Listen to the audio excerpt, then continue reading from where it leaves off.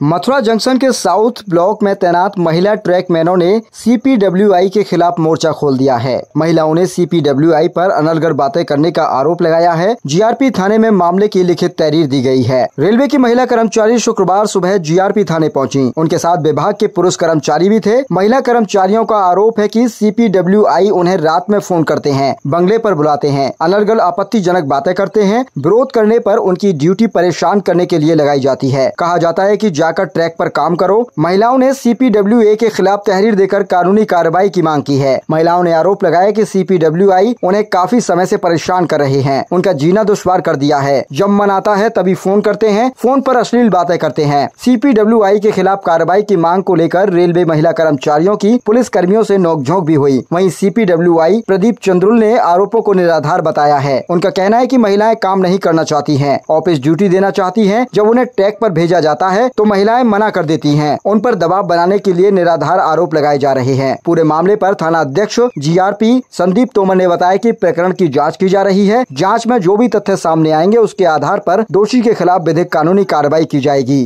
और है ना, मैं ट्रैक मेंटेनेंस थर्ड हूँ और साउथ ऑफ़िस में है ना ड्यूटी करती हूँ सर। जो हमारे मुझे दस साल हो गई है सर यहाँ ड्यूटी करते हुए। लेकिन कोई भी सर ने इस तरह से लैंग्वेज का प्रयोग नहीं किया ना मानसिक प्रताड़ित किया ना किसी भी प्रकार से कोई दिक्कत महिला को करी।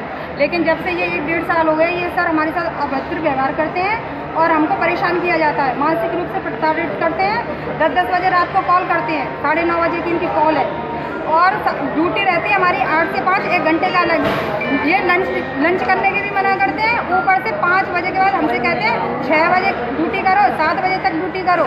इसके बाद ये कहते हैं, ना मतलब सात बजे तक ड्यूटी करने के बाद भी इनका रात को कॉल आता है। ये साढ़े नौ बजे कॉल, इनकी रिकॉर्डिंग भी हमारे पास है।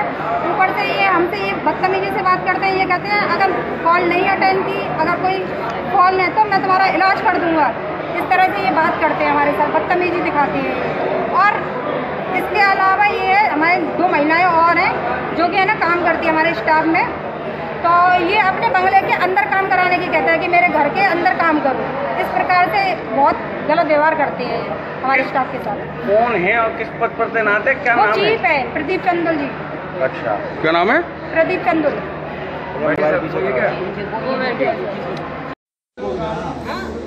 मेरा नाम किरण है यहाँ मैं एक साल से पोस्टेड हूँ मथुरा साउथ ऑफ़िस में। एक साल से मुझे मुझ पर इतना प्रेशर बनाया जा रहा है बहुत ज़्यादा जिससे मेंटली बहुत प्रेशर में आ चुकी हूँ। कौन बना रहा है? प्रदीप चंद्रल सर। क्या कहते हैं? क्या कहते हैं? यही ट्रैक पे काम करो ट्रैक पे भी काम करने के बावजूद भी दिखवाया जाता है लड़कियाँ बैठी तो नहीं अगर बैठी हो तो अपसेंट लगाओ लड़कियों की। अच्छा। और लैपटॉप चलवाएँगे तो ट्रैकमैन के पद पे कार्यरत हैं। इनको जब बोला गया कि फ़ील्ड में आप जाके काम करिए तो इन्होंने बोला कि हम फ़ील्ड में काम नहीं करेंगे। हम ऑफ़िस में ही काम करेंगे और काम नहीं करेंगे तो हम ऑफ़िस में ही बैठेंगे। तो ये इनकी पहले से ही ऐसी, इनमें एक लेडीज़ है अनुराधा।